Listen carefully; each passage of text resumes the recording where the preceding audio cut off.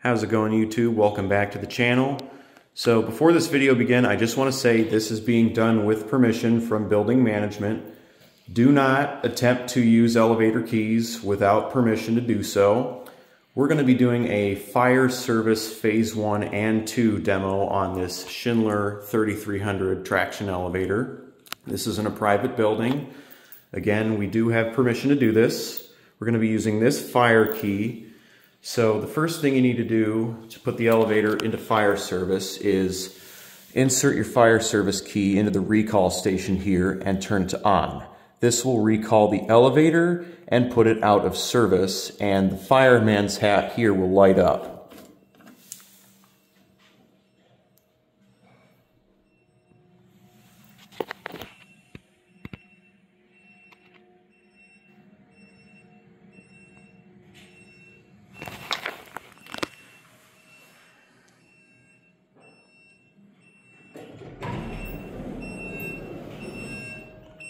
And once it arrives, the alarm will stop, the car will park, doors will stay open, call button completely disabled. That would be the same on all the floors.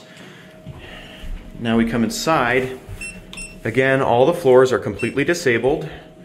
None of the buttons work except for the alarm bell and the phone. All right, so now, as you can see, fireman's hat is lit up. Now, if that were flashing at any point, you do not want to use the elevator because that means that the elevator has been automatically recalled by a device related to the elevator and a shunt trip would ensue. So now we'll insert the fire key.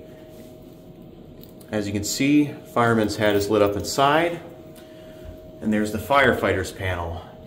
So now we'll turn phase two on. Now the elevator's in phase two fire service. As you can hear, the fans shut off. So I can select a floor now. Let's say I don't want to go there. Press call cancel. And I'll show it again here. Call cancel. Cancels out the call. Now, we're going to go to two. Now to close the door, you have to hold the door close button. If you take your finger off, the door will reopen. All right, now we're going to go to two. Holding the door close,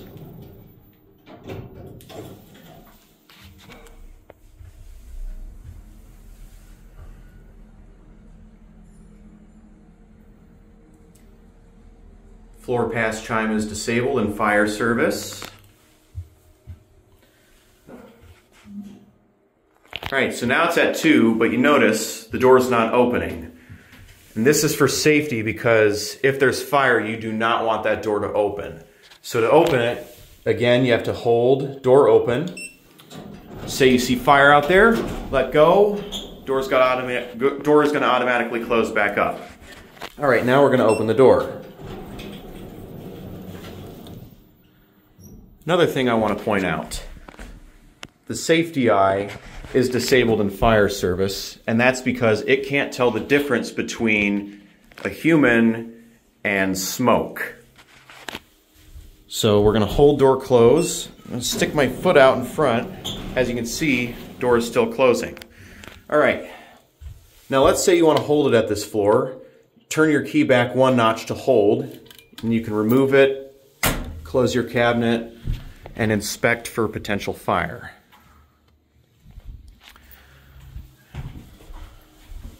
And you can come back, open your panel. Now, let's say we want to send this back down to the recall floor for another firefighter. Turn it to off. This will sound the alarm.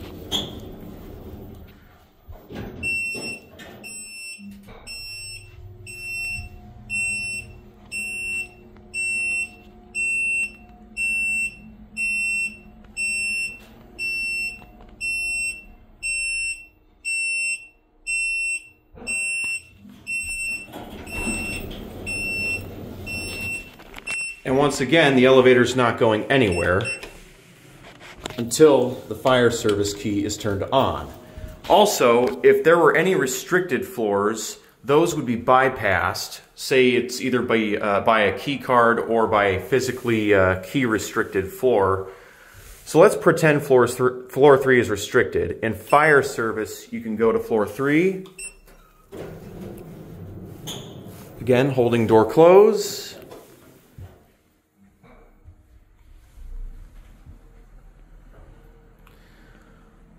Also, I'd like to point out that for some reason, Schindler fire panels have rear open and close buttons, but those don't apply because as you can see, there's only a front door. There's no rear door at all.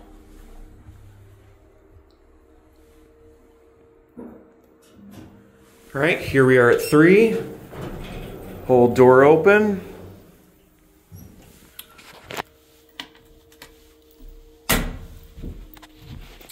And here's floor three.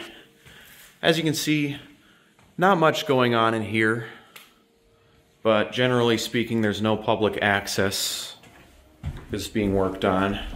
All right, now we're gonna go back down to one. Oh, almost forgot.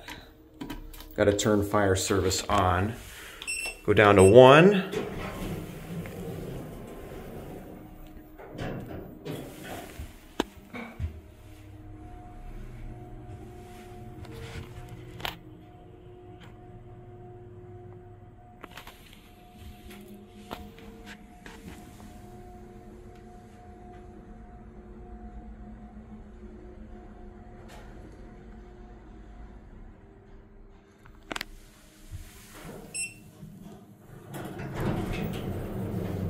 Right, here we are at one.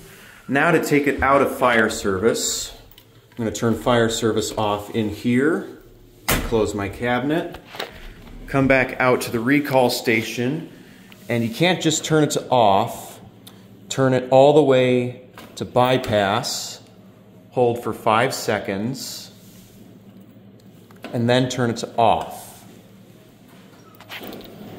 And now we're out of fire service. Hope you guys enjoyed. Stay tuned for more and have a wonderful day.